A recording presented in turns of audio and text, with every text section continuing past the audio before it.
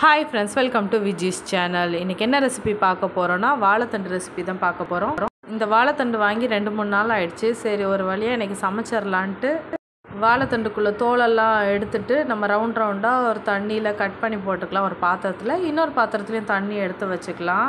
ஏன்னா வாழைத்தண்டு சீக்கிரம் கருத்து போயிடும் அதனால உடனே கட் பண்ணி கட் பண்ணி தண்ணியில் போட்டால் தான் கருக்காது. எல்லாம் பொடிசாக நம்மளுக்கு என்ன சைஸில் வேணுமோ அந்த சைஸில் கட் பண்ணி வச்ச உடனே நான் அப்பளம் பொறிக்க கம்பி இருக்குல்ல அதை வச்சு நல்லா அந்த தண்ணியில் நல்லா சுற்றிக்கிட்டே இருந்தேன். நல்லா சுற்றிக்கிட்டே இருந்தேன்னா அந்த கம்பியில் வந்து நல்லா நூல் மாதிரி ஒரு மாதிரி இருக்கும் நரம்பு மாதிரி. அது எடுத்துடலாம் அது போட்டால் நல்லா இருக்காது. அது ஒரு அஞ்சு நிமிஷம் நான் பண்ணிக்கிட்டே இருந்தேன். அதுக்கப்புறம் தான் அந்த வாழைத்தண்டில் இருக்க எல்லா நாருமே க்ளீன் ஆகும்.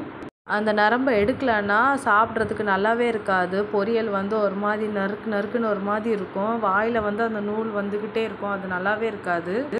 அதனால் அதை மட்டும் க்ளீன் பண்ணி எடுத்துட்டோன்னா ஈஸியாக செஞ்சிடலாம். அதுக்கப்புறம் கடாயில் கொஞ்சமாக தேங்காய் எண்ணெய் சேர்த்துக்கலாம். எந்த எண்ணெய்னாலும் சேர்த்துக்கலாம். ஸோ தேங்காய் எண்ணெயில் செஞ்சால் இன்னும் நல்லா வாசமாக இருக்கும். கடுகு கருவேப்பிலை அப்புறம் கட் பண்ணி வச்சுருக்க வாழைத்தண்டும் அதுக்குள்ளே சேர்த்துக்கலாம்.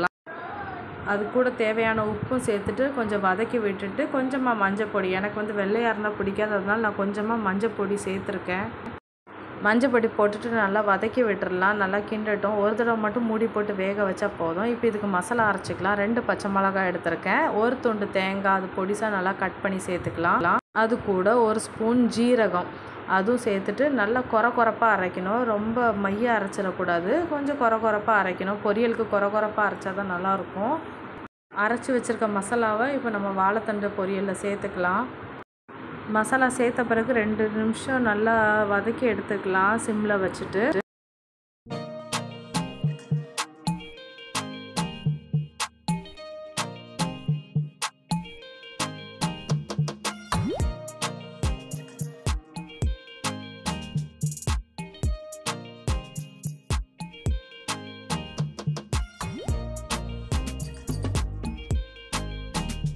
மசாலா வாடெல்லாம் போன பிறகு நான் ஒரு லாஸ்ட் ஃபைனல் டச்சாக ஒரு அரை ஸ்பூன் தேங்காய் எண்ணெய் திருப்பியும் ஆட் பண்ணுவேன்.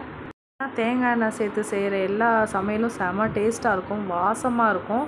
அந்த வாசத்துலேயே நம்ம சாப்பிட்றலாம் மறக்காமல் நீங்களும் ட்ரை பண்ணிவிட்டு மறக்காமல் விஜிஸ் சேனலுக்கு சப்ஸ்கிரைப் பண்ணுங்கள் பாய்